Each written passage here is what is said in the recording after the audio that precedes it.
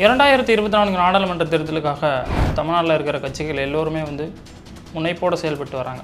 அதுலேயும் குறிப்பாக அதிமுக பாஜக கூட்டணி முறிஞ்ச பிறகு திமுக முண்டி அடிச்சுட்டு தொகுதி பங்கீட பேசிட்டு வராங்க. கூட்டணி பேச்சுவார்த்தையும் பேசிட்டு வராங்க. அப்படி பார்க்கும்போது இரண்டாயிரத்தி பத்தொம்போது நாடாளுமன்ற தேர்தலில் திமுக அமைச்சிருந்த வியூகத்தை வந்து வரும் நாடாளுமன்ற தேர்தலுக்காக இன்றைக்கி மாற்றி இருப்பதாக ஒரு தகவல் சொல்லப்படுது. இந்த வியூகத்தை மாற்றினதுனால கடுப்பாகி போயிருக்கிறது தமிழ்நாடு காங்கிரஸ். இந்த வியூகத்தை மாற்றி இருக்கிறதுனால குசியாகி இருக்கிறாரு மதிமுகவை சேர்ந்த வைகோ. என்ன நடந்தது? திமுக வந்து என்ன மாதிரியான வியூகத்தை வகுத்திருக்கிறது? பார்க்கலாம்.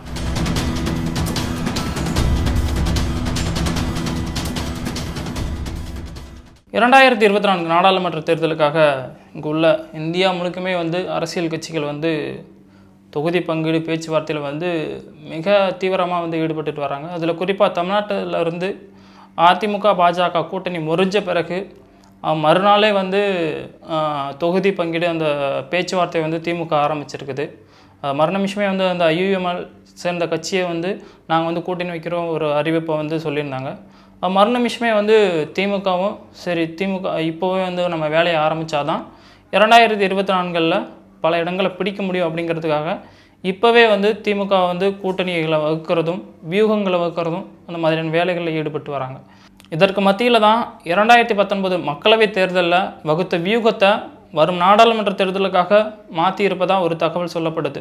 தேர்தல் சமயத்தில் அங்கே இருக்கிற பிரதான கட்சிகள் வந்து கூட்டணி கட்சிகளோட கூட்டணி வைக்கிறதும் அவங்க கூட வந்து தொகுதி பங்கீடு பேசுகிறதும் வந்து தேர்தல் நேரங்களில் ஒரு சுவாரஸ்யமான சம்பவமாகவே இருக்கும்.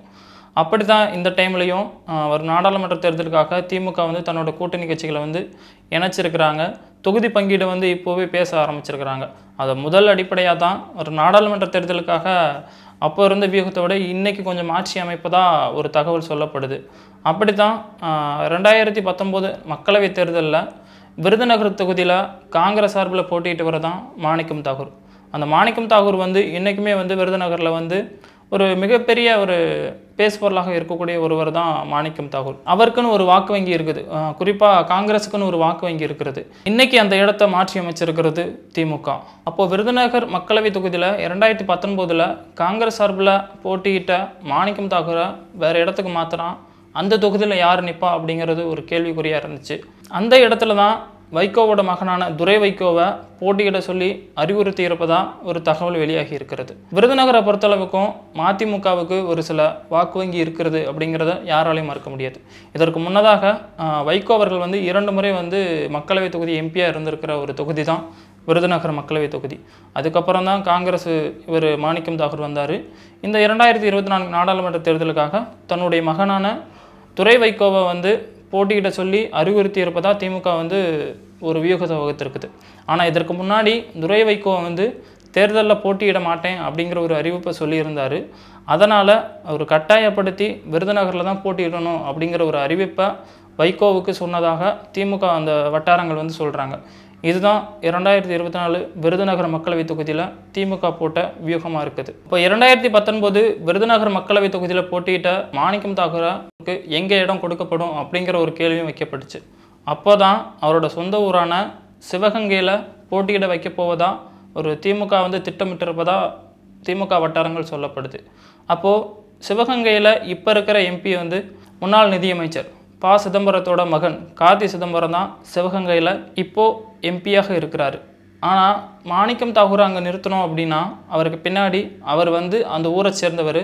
அதனால் அவருக்கான வாக்கு வங்கி அப்படிங்கிறது இருக்கும் அப்படிங்கிறத பொறுத்து தான் திமுக அந்த வியூகத்தை எடுத்ததாக சொல்லப்படுது.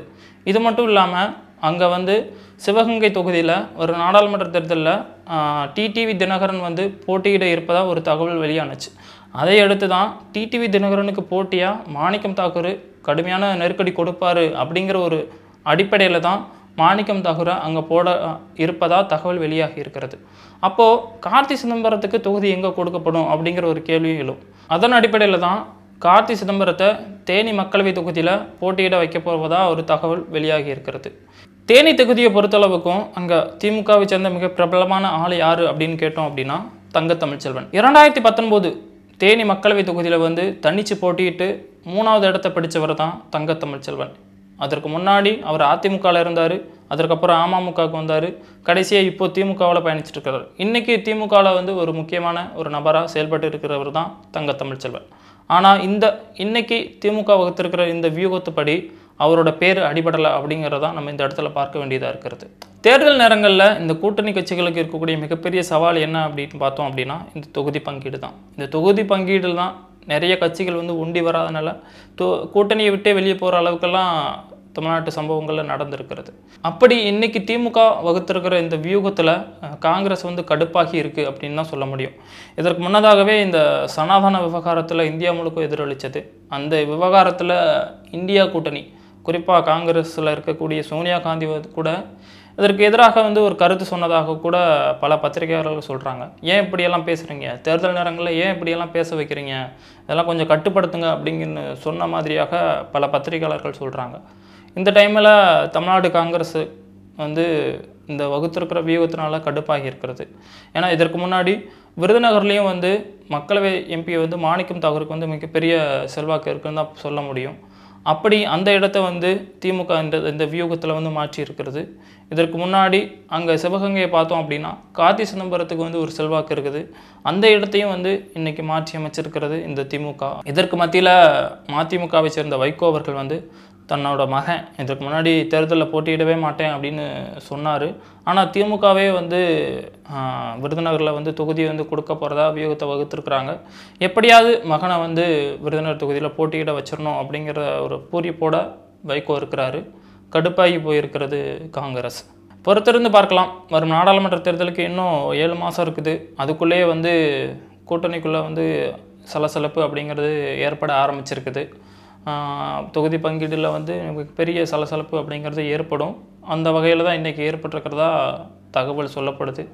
எது எப்படியோ பார்க்கலாம் பொறுத்திருந்து பார்ப்போம். இன்னும் வந்து திமுகவோட இன்னும் எந்த எந்த கட்சிகள் கூட்டணியில் வந்து வரும் அதிமுகவோட கூட்டணியில் யார் போய் சேருவா அப்படிங்கிறத பொறுத்திருந்து பார்க்கலாம். நன்றி வணக்கம்.